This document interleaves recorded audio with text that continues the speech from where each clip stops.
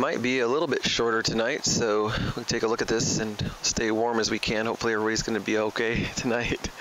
Such an awesome season to see uh, all the different things we can do in gathering together in just different tones and searching things out and who knows what God can actually do throughout all of this. This message I called tonight is called mental poison. Either it's fast, known, and painful, or it's slow, unknown, and painless.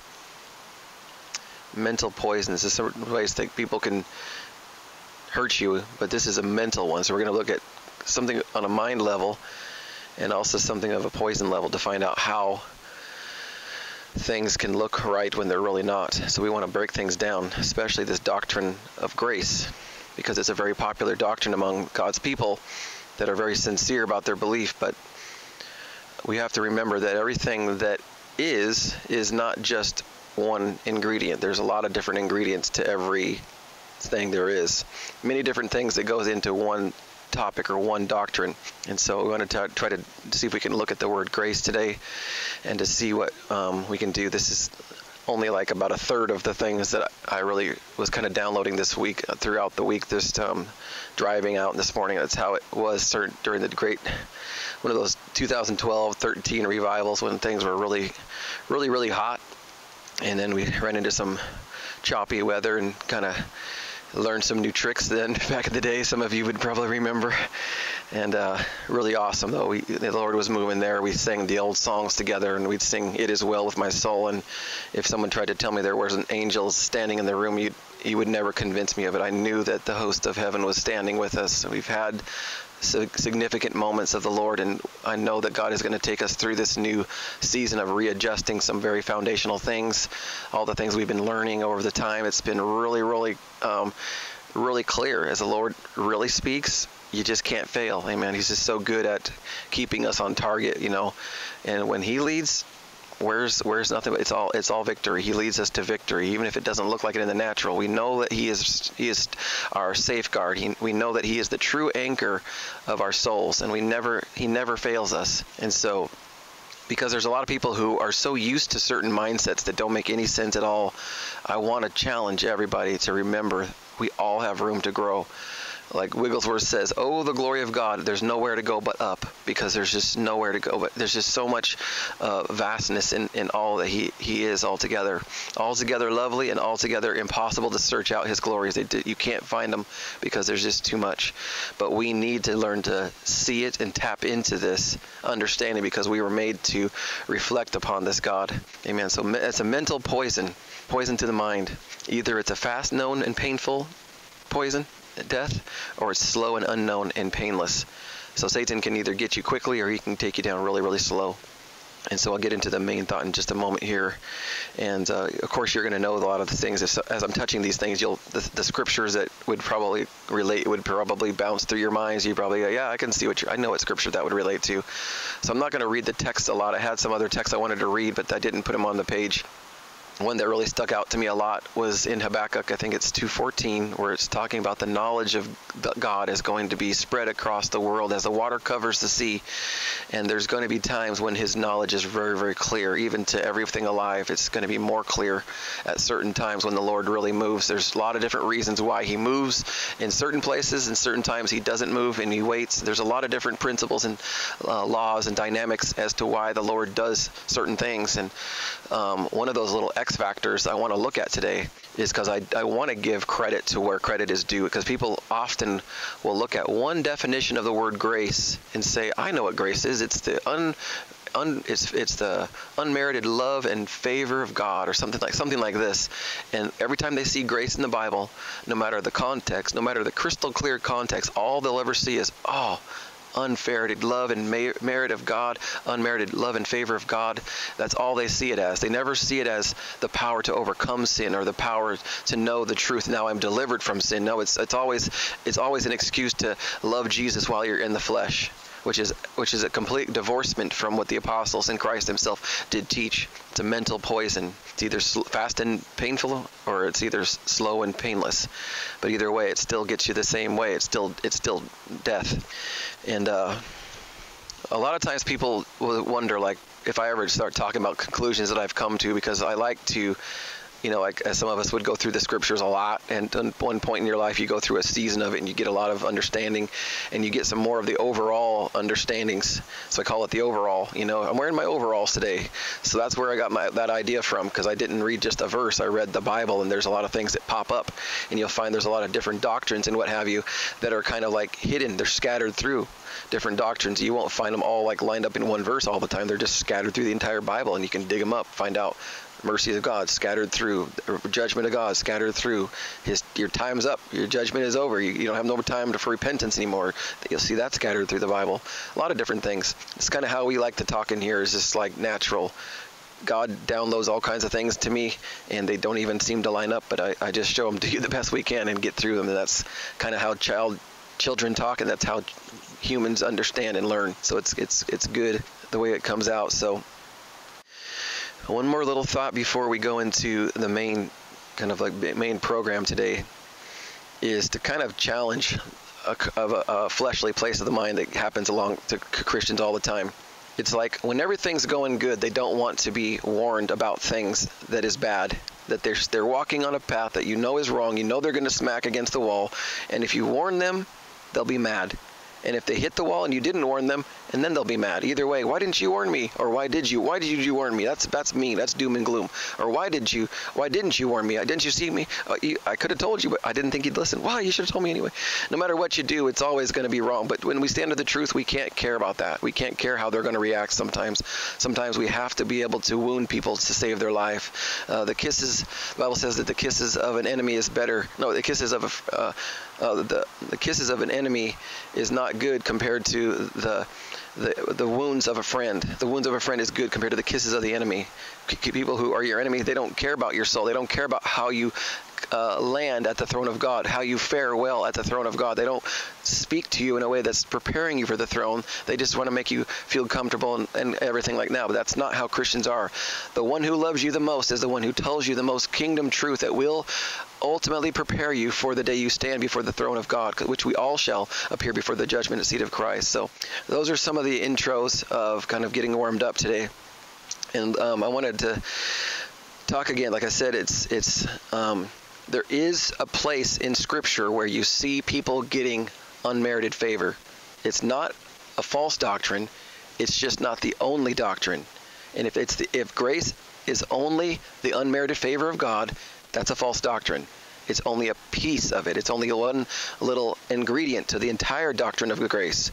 So don't say that is all of grace. That is only a piece of grace. And I'm going to prove it tonight. Unexpected mercies. Amen. Unexpected mercies.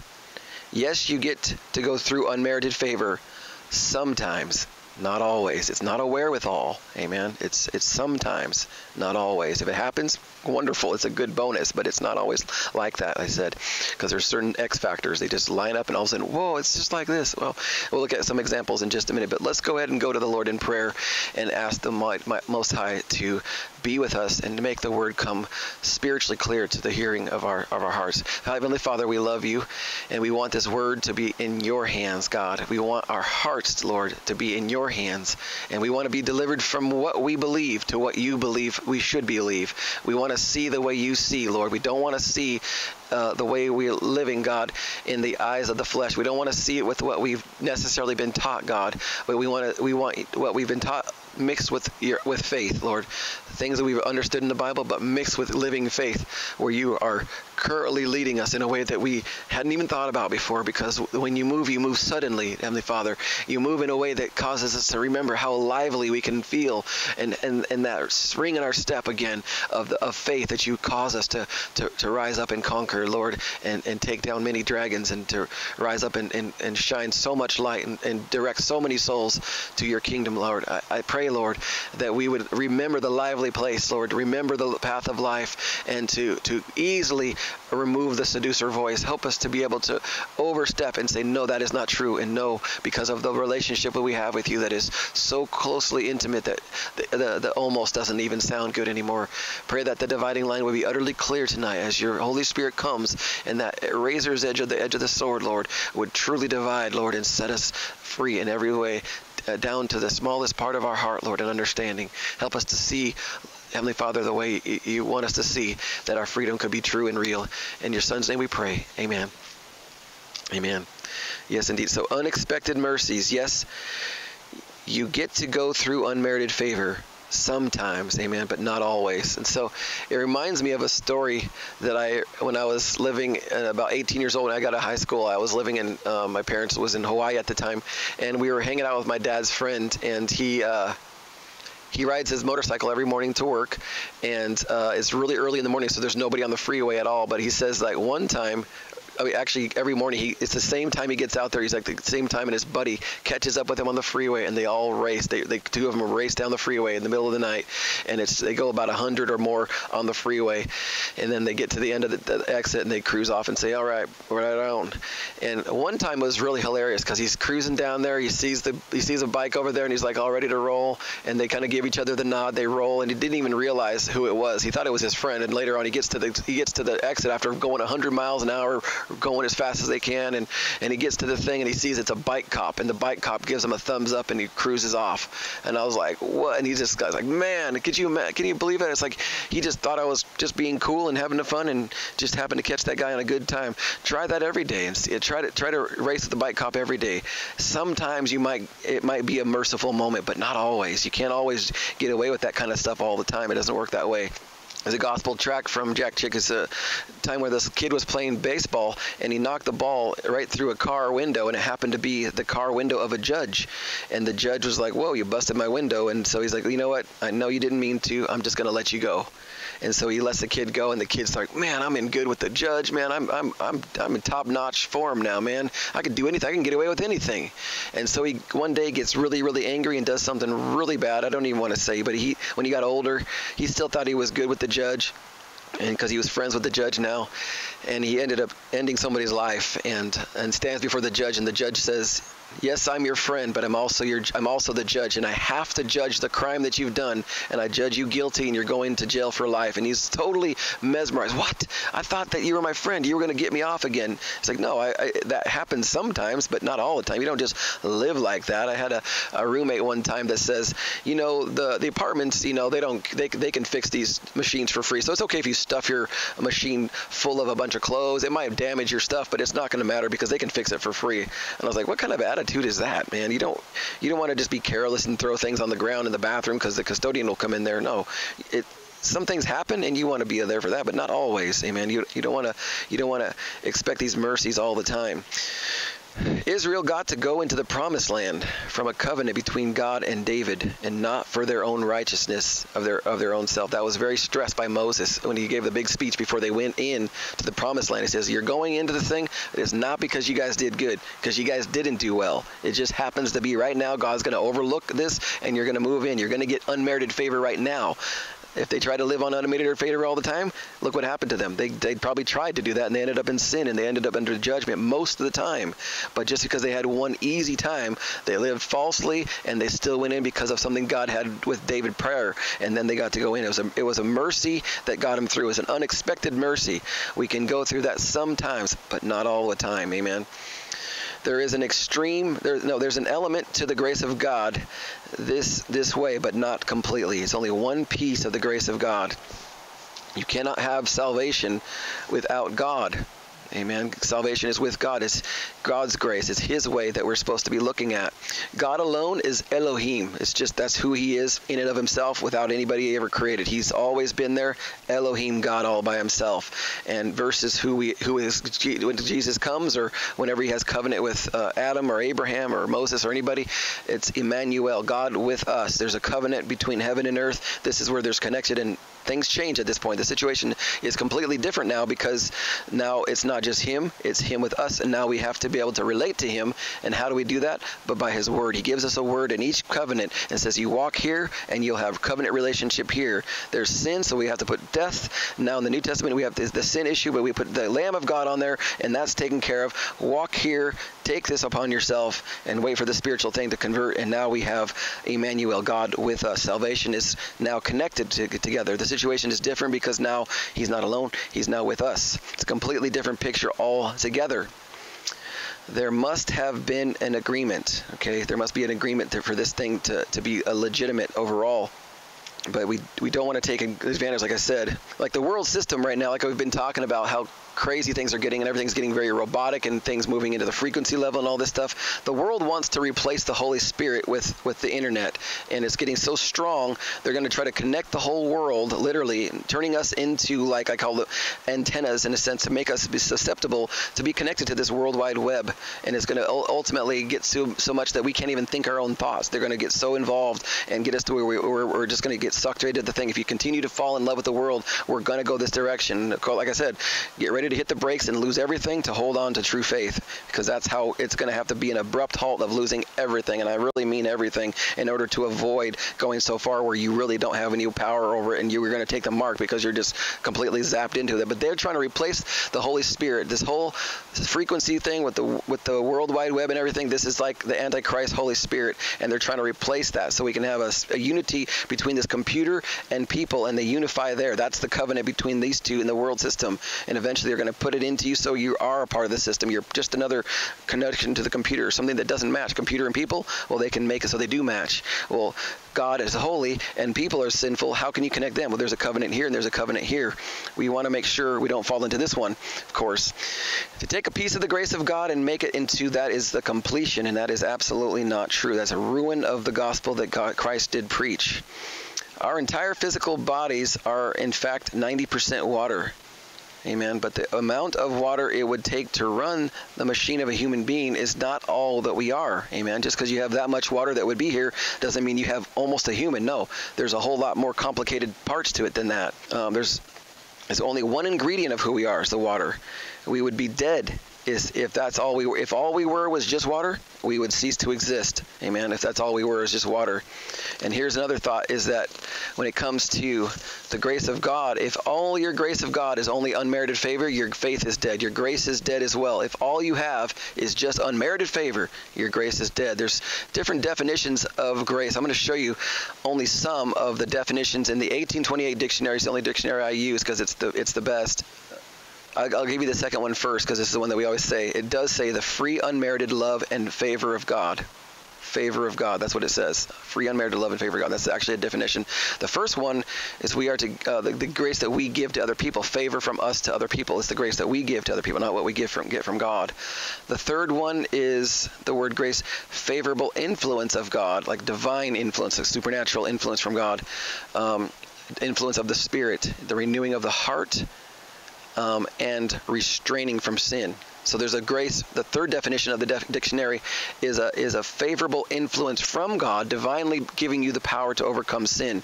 So, as much as they like to favor number two, why don't you favor number three too? Because those are both biblical. They're both very scriptural. They're scripture to to show you in the dictionary itself. The fourth definition of grace is the application of Christ's righteousness to the sinner the application of His grace upon you. There's a grace that's like a type of atonement, of, uh, angle of grace as well. The fifth one is the state of reconciliation to God. We're in a state of grace. There's an act of grace, there's a state of grace as well. The sixth one, virtuous or religious affection or disposition kind of like your attitude, your faith, your meekness, your humility, your patience, kind of like the fruit of it is like is a type of a grace proceeding from divine influence. So the thing that happened to us is also a sense of the grace of God as well.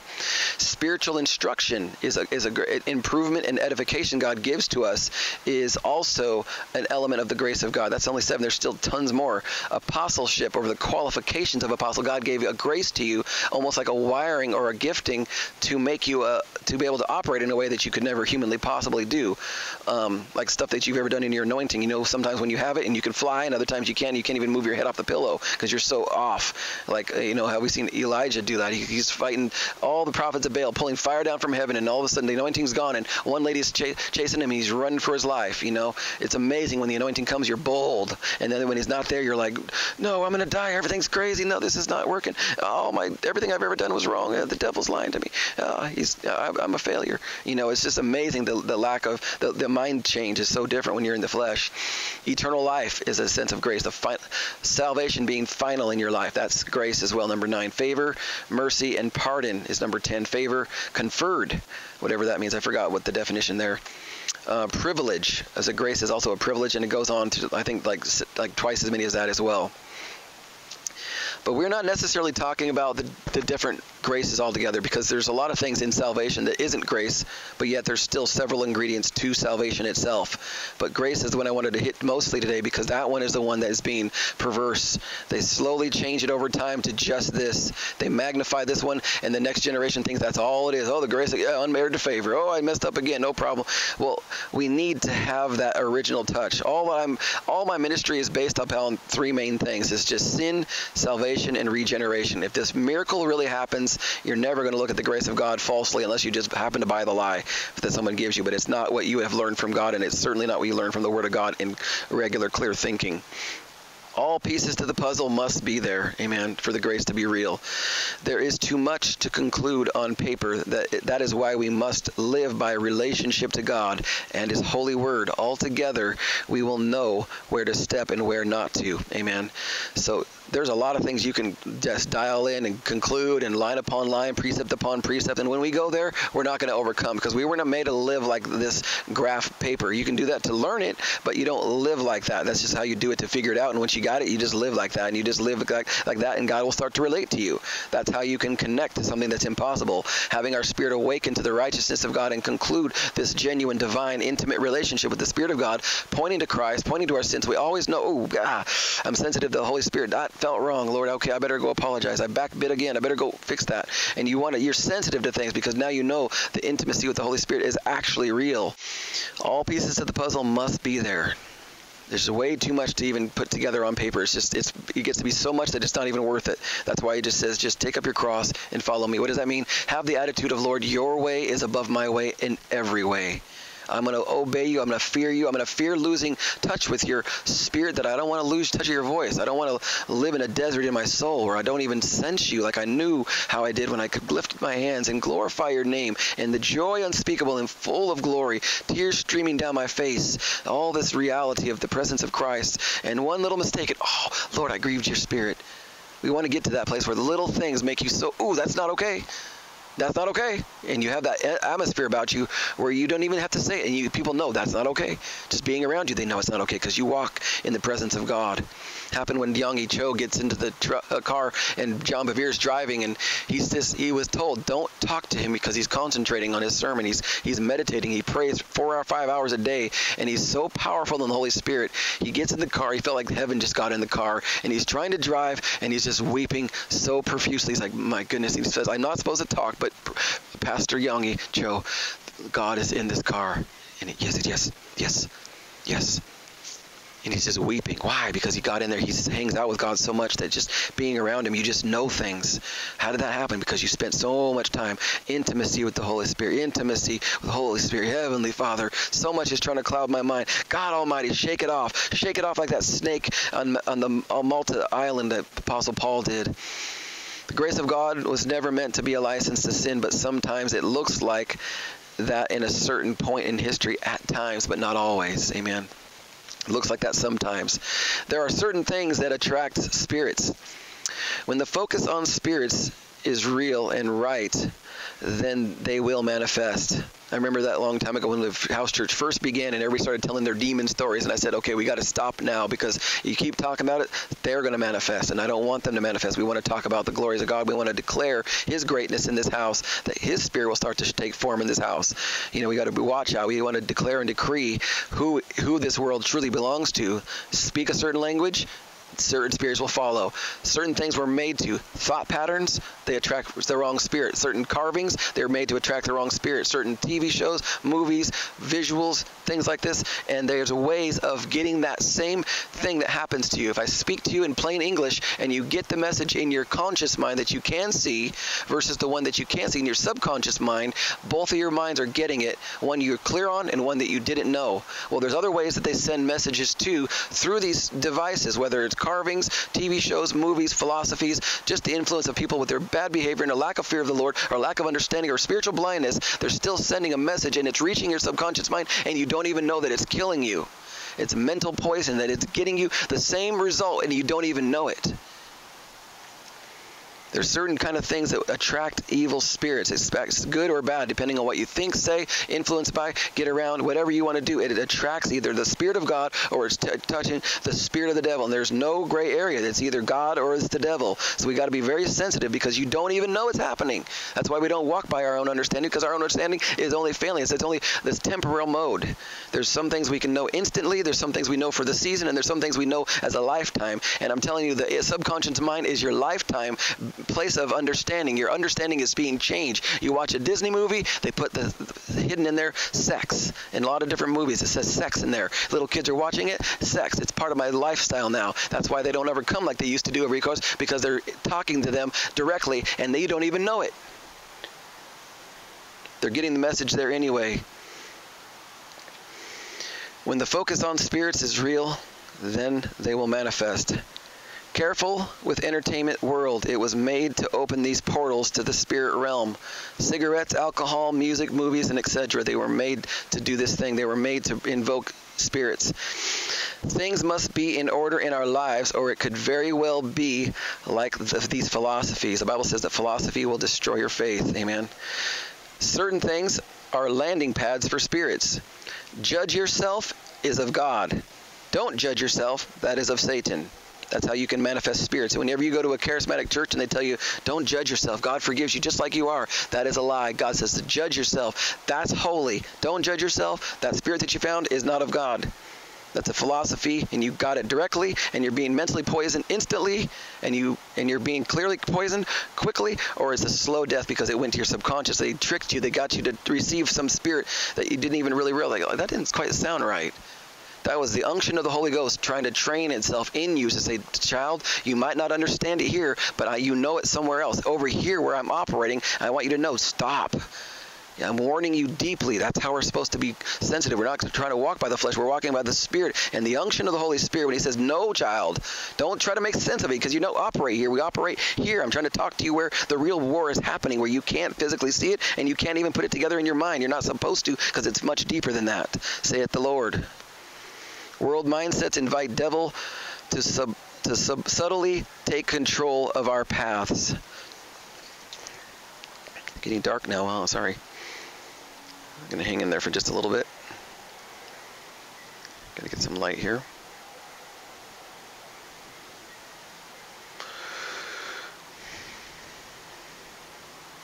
Like a microscope, a scientist can see the natural eye, what the natural eye cannot see or the equipment for a radio wave expert likely would be able to see the sound waves and see how they move outside the normal field of vision or the natural eye. When you're doing music and stuff like that, you can see the patterns of the sound waves on your thing. You can see when they go up and down and up and down um, on the sound wave. It's just like that. You can't see it as it's happening, but you can catch it and observe it on a computer but we can't see how it's actually operating. There's ways of getting that same message through without you even knowing it. That's what frequencies are all about. They're giving you a message and you don't even know what's happening. That's why it's going to get so dangerous if we don't watch and be very careful. If we're very just, hey, well, I didn't notice it anything. Well, because you're not looking at what the Spirit of God, the Spirit, the deepest place of you, God is trying to say, child, be alert, be sober. The devil is not playing on the game that you think. He's not playing on the field that you're playing on. You're playing. He's playing on a different field. So you got to be more sober than you might have thought you needed to be. And he'll he'll let you know exactly what that is when you break through in the prayer closet. Same as the prophet can see things that the natural eye cannot see. It happens in the spirit, happens in the radio waves, and it happens in the microscopic uh, germs and what have you, uh, um, cells and what have you. Do you see how a person speaks a message and the message is going to the frontal lobe where conscious thoughts are made and held to a short-term parking, kind of like short-term situation there? When you go to the when you go to the when you go to the airport, there's three different levels of it. You got the you drive up there and grab them and go because within a one minute or two, and then you go to the short-term parking and you're there for maybe an hour, or long-term parking and you're there for a long time. It's exactly the same thing. How the mind works. It's either instantaneous, right now in the moment, or it's for the day or the season, or it's long-term. It's a life. It's more of a long-term seasonal thing in your life, maybe even lifetime. The same same way how it operates in our in our in our understandings. The same imprint happens in your subconscious mind when you're hearing it directly, or it's happening in a way that you don't even know it's happening. And it is possible to do this with frequencies and make the same impression into the hearer's subconscious mind without speaking that the ear can even be notified. The message seems to be able to bypass the normal ear canal and head straight to where the final understandings are made. It's a pretty powerful thought, amen? Pretty powerful thought. And here's another thing. You think about like how we talking about the certain things that attract spirits, words, but but actions speak louder than words. Amen. There's verbal is the lowest form of communication. Mood swings, the way you shift your body, the facial expressions that you don't even mean to be making. You don't even you think you're smiling, but on the outside you look crazy because your face is clearly not okay. Amen. But actions speak louder than words. So if you act like a demon, you're still inviting demonic activity to hang out with you and thus bind you spiritually. Which at times in your life you will be that it will be clear that that something is definitely wrong. Okay. Yeah, so once in a while you start acting funny, you start living a different way. Well, that doesn't really matter. It doesn't look matter to your frontal lobe. It doesn't matter to certain obvious places, but in the spirit, something eventually you start to realize something isn't right anymore. I was carrying on, and now some just doesn't sit. God, I just. I remembered I played that song before, and the heaven came down in my car tears came down, my eyes came down, my hands went up, and I didn't even care. And now I fear man. The song didn't touch me. But God, something doesn't seem the same. What's going on here? I'm not. I'm not what I once was. Something's changing. God, what happened to me? Is he talking to me on a way I don't even know he's talking? Did I open up a door? Like if someone wanted to poison your body to kill you, they could do it one of two ways. Right? They can do it really clearly, or hidden from your sight or knowing. One guy gets it quick is clear in an underground massive cave with hundreds of face painted warriors for some tribe, and the leader says, Tie him up and bring in the poison. We'll dump it down his throat until he dies. So this is clear, it's quick, and it's painful. The other is slow, painless, and done without anyone knowing it. But they both get killed either way. There's different ways of doing it to the physical, and there's different ways to do it in the natural. Mental poison, either it's fast known and painful, or it's slow, unknown, and it is painless. Very, very, very, very important to, to keep that on overall.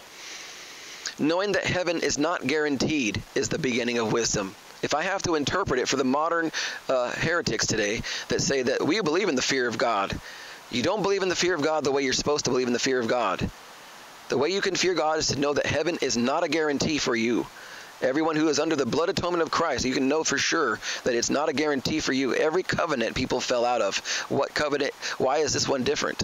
Because it's the blood of Jesus. It's still a covenant of the Word of God, no matter whether it was the blood of Jesus or or the blood of the animals that they used in the Old Testament. Either way, it was still by the Word of God, and it was provisions only in this place alone. That was where His Word was.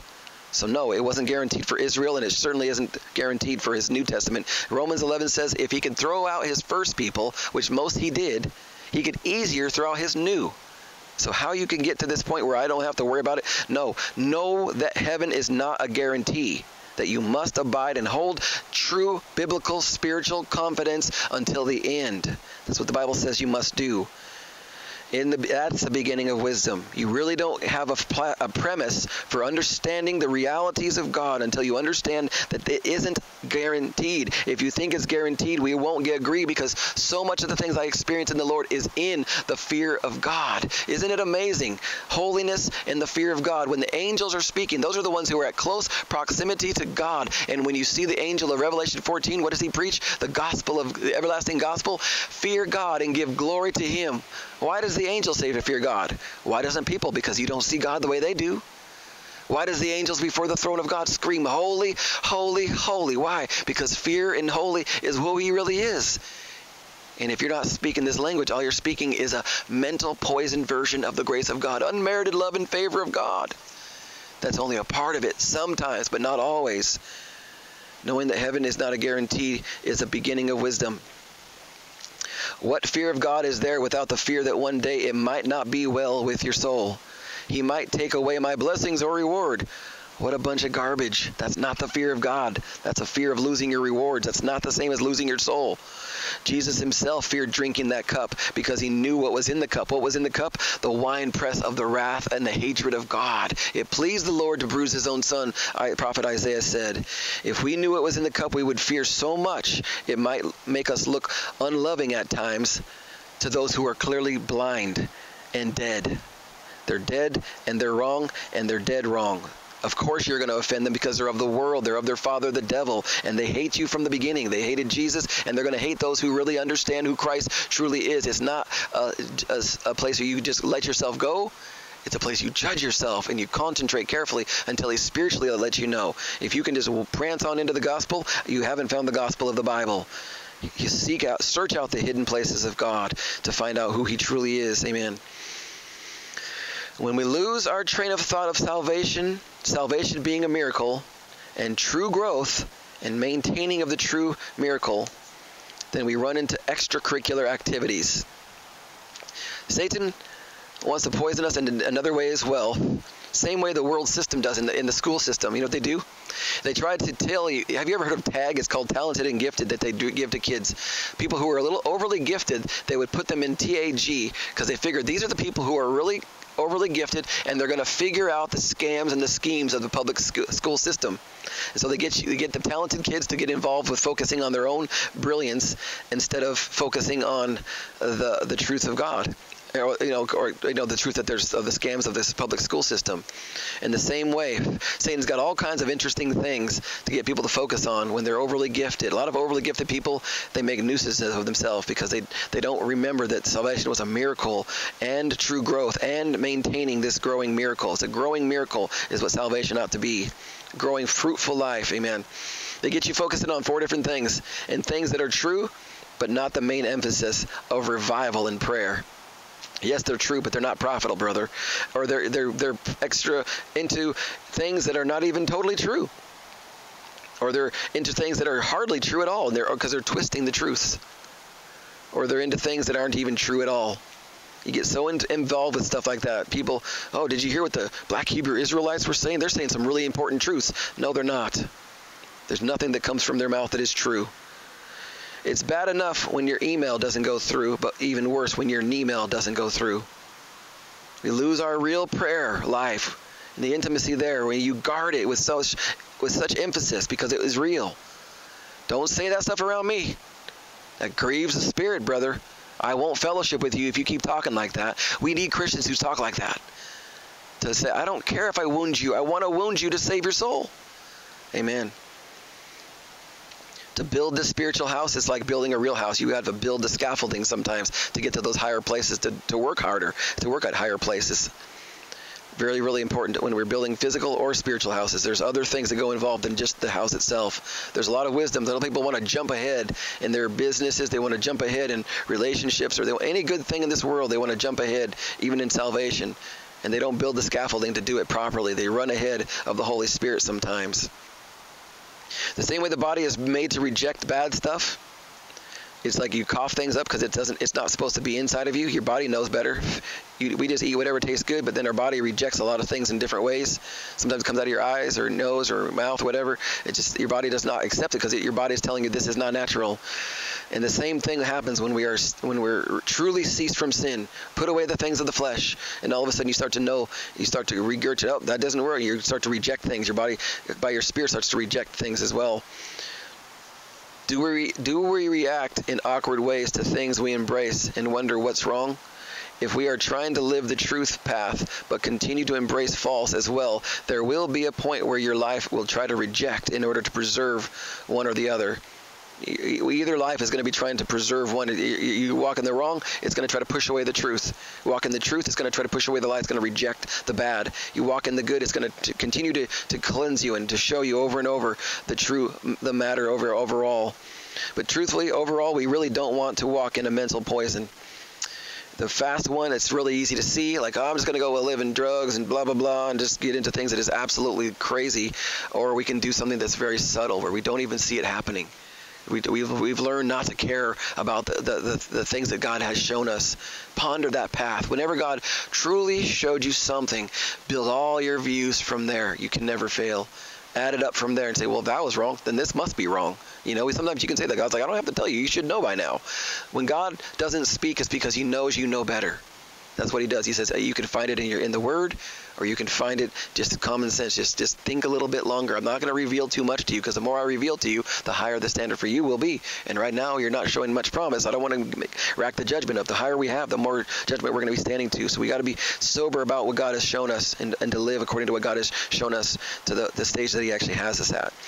Well, that's pretty much the main the main word tonight. There's a bunch more that we, we have to get into another time, or I'll just do a separate video for it overall. But let's go ahead and pray that the Lord will help us to remain sensitive to His Spirit. Amen. We want to be sensitive to His kingdom leading in our hearts. It's so key, amen. So key to know where the where the Almighty really wants us to be, that we can behold Him in His splendor and glory. Amen. Let's pray. Heavenly Father, we thank you so much for helping make plain the significance of the battle that we are in. We know we're at war, and we know the enemy is trying to win our souls, Lord, and we, we don't want him to win, God. We don't want him to take ground in our life because he know we know as soon as he takes a little ground, he's going to take more, Lord. As soon as we start losing our prayer life in the morning or the night, Lord, it's just going to we're just going to keep missing, and we'll develop a habit of talking big and living small because we don't even know where the true life is anymore. We don't know where the way, the truth, and the life is anymore because we've lost that spiritual connection. Our knee mail isn't getting through anymore. We're, we're losing something, God, and we don't want to lose. We want to we, we don't want to be careless and prayerless about the things of your kingdom, Heavenly Father. We want to be sharp and sober and ready in season, in season and out of season, ready to convince and rebuke and exhort, Lord, at your bidding.